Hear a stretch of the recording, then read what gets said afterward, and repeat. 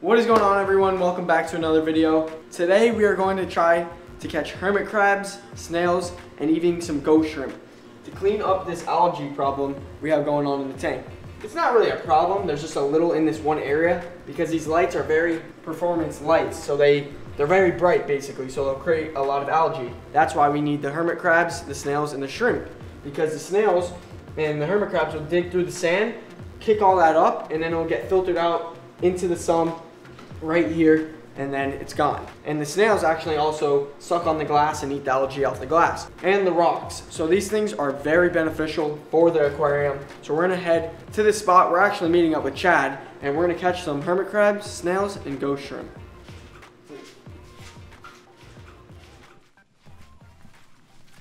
As you guys just saw, there's a lot of algae starting to grow on the sand of the aquarium. That's why we are here with my buddy Chad, as you guys saw in a bunch of other videos, he's always coming to help us out. And we are going to be catching micro hermit crabs and micro snails for the aquarium to clean up the sand, the rock. The snails eat the algae. The hermit crabs stir up the sand so it can get filtered out and everything. We're going to be trying to find as many snails and hermit crabs as we can.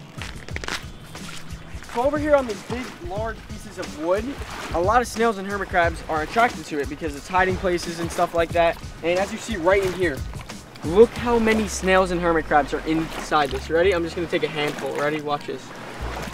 Oh my gosh, there's so many. I can't even grab them. There's so many. We're looking for a specific kind of hermit crab. The one with the blue legs. I'm not sure the exact name. All I do know is that they do have blue legs. Let's see. So basically, we're just gonna look inside, see if they have blue legs. This guy right here does have blue legs. This guy does too. And these are the ones you want for your aquarium. So I'm just gonna keep them right here. And then once we get like a dozen, we'll put them in there. And these guys benefit the tank insanely. They keep it like a natural ecosystem. They clean it and it just goes through cycles. They're awesome. So basically we got a couple hermit crabs right now. And look at them, they're all coming out right here. Look at how sick that is. They're all moving around on my hand. to poke out. We're gonna add these couple of hermit crabs to the bucket. The snails are a little harder to find. Chad's actually over there catching live shrimp. If you get this video to 10,000 likes, we are going to be catching live shrimp and feeding our lionfish, our pufferfish, our eel, and our bumblebee grouper the live shrimp we catch. Get this video to 10,000 likes and we'll go and do that.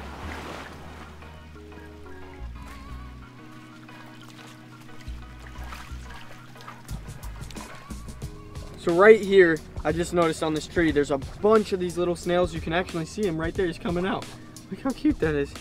And these guys also do benefit the tank. They clean the glass, they clean the sand. And yes, they do reproduce a lot. I already know that. But my plan is once they do reproduce, I'll take a couple out and release them back into the water.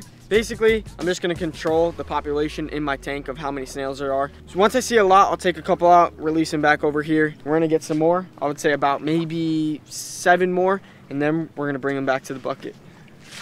So as you can see, they're all along this tree. So when it's high tide, these snails come onto this tree, they suck on it, and they just they're suction cupped on it. And then the tide gets really low and they get stuck up here. And guys i know you're probably thinking oh don't take them from the wild and all that. But honestly they're going to a great home where there's a lot of algae in the tank. They get to eat whenever they want. When they're here the tide gets low and they're out of water. In my house there's no tide in the tank so they're always going to be in water and they'll live a great life and i'll make sure they do look at the color on this one's shell that thing is sick notice how this one has like a darker shell this one has like a little pattern and that's so sick.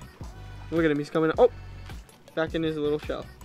And he comes out, back in his little shell. Like I said before, these things are gonna help stir up the sand a little. They'll move through it and then all that algae and stuff will be lifted up from the sand and get filtered out. So this is actually one of the shrimps I was talking about that we're gonna feed to the lionfish and bumblebee grouper and all the other fish in the aquarium. Chad actually just caught this guy and they're little ghost shrimp. They're tiny. Oh, look at this one. Is that a snail? Yep. This is a different species of snail. It's more of like a round shell. It's pretty larger than the other ones, but yeah, that's a type of snail right there. Let's see the bottom of him. We're definitely gonna put this guy in the aquarium.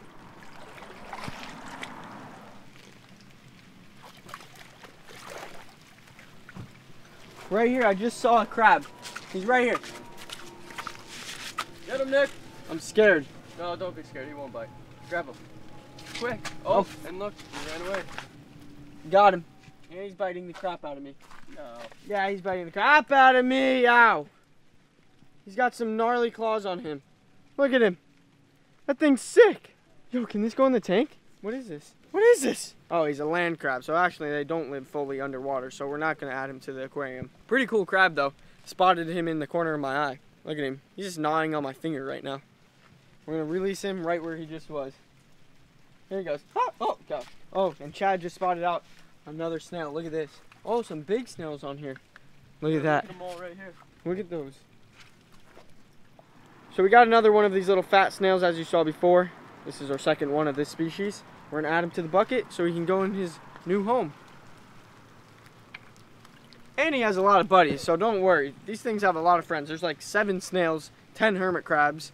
So they're definitely not lonely. Holy crap! Look at him! Oh, oh, where'd you come from? hey, buddy. Jeez, I'm This isn't a fish. No. Wait, what? Oh, oh. Maybe. Come here, buddy. Dude, I'm starting to get very mad. I think Chad's on them right now. Let's see what you got. Come on, Chad. We're cheering for you. Not the biggest one, but it's still one. That's a much bigger one. Look at him right there. You see they're on these docks and stuff because a lot of algae grows on docks and stuff and rotten wood. We need these invertebrates to clean up our tank. Once Chad gets into a zone, he does not stop. Look at him. He's so concentrated right now. I'll say Chad like five times and he won't even hear me. Ready? Chad. Chad. Chad. Yo, man, can you leave me alone? I'm trying to catch. See what I'm see what I'm talking about? He gets in these zones and he's he'll be out. We can we can come back two hours later and he'll be in that same spot looking for a shrimp. I'm not kidding you. We got all our invertebrates right here: hermit crabs, snails, and even micro shrimp. We're gonna be heading back to the house right now and adding them to our aquarium. Huge shout out to the man himself, Chad. His Instagram, like I said before, is popping up right here. Hey, It man, I got another one. See what I mean? He's, he's crazy. All right, let's head back to the house. How's it going, ladies and gentlemen? We're back at the house. We got the job done, as you saw. We got our hermit crabs, our ghost shrimp, and snails in the bucket right here. You're actually probably wondering where I got this puffer fish from. He's sitting right here. Um, Paul actually, we did a spin the wheel challenge, and it landed on that. And Paul doesn't have a saltwater aquarium. I do, so he had to go get me one. So we got a new little puffer fish, and he's awesome. I mean, he gets along with the bumblebee grouper, the lionfish. They're about all the same size, so it's perfect for them. That's not what the topic is about. It is about these hermit crabs, shrimp, and snails. What do you think first, Chad? The snails? Yeah. All right. Me and Chad are just gonna pick up some snails. There's two of the biggest ones. They're actually attached to. Ha! They're attached to their buddy. Just gonna drop them in. If they're flipped over, they'll know how to turn themselves back. Drop them. No, you know not to eat that. Don't try. See, you get scared of them. They're just crawling around. Hey, stay away from that lionfish. Ooh, They're looking like he's he's eyeing them out. Can we mark it? No. No, see, they know. They know. Yeah. Heck, heck. Once they get used to it and know that these are not food, which they will because it's like, it's basically like a rock. And they don't want to eat a rock. So they'll, they might nip at it, spit it back out, and then realize it's not food. So yeah, basically that little hermit crab right there is just to kick up the sand, stir it up a little, and also eat that algae. Then it will get filtered into the sump and then clean our aquarium up. And that's just part of the aquarium. That's the cycling basically going on. It's just like ponds. You'll have your first stage of algae, then it'll get clean, then it will have another stage of algae, and then it will be clear. So that's just how it goes. The same thing with the aquariums. So you guys see the little orange spots right there? That they're actually cleaning it right now. They're sucking all that stuff up, and they're doing their job. That's why we put them in there. And Chad, now what is the name of these hermit crabs? Do you know? Blue-legged hermit crabs? Blue clawed hermit crabs. Prime. Crab, crab, prime. Now, what you guys been waiting for? Time to add the shrimp. Now, yes, you're probably wondering, will they get eaten? Some of these might get eaten. Yes, that's just how it goes. But they're very small and fast, so a lot of them will get away in the rocks and hide and clean underneath the rocks and stuff where the bigger fish can't get. But yes, I'm sure one or two of them will get eaten. That's just how it goes when you have aquarium with smaller invertebrates cleaning up your tank. Some shrimp going down to the bottom right there. Look, see? And those guys will find a little hole now and escape the bigger fish.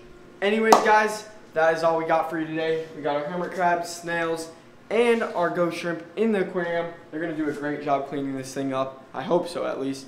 And like I said before, big shout out to Chad for helping us with this video today.